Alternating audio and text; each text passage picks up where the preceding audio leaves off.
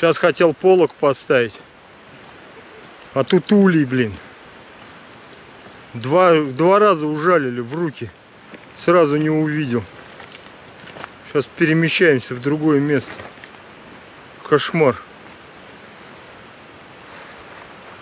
Ну, блин.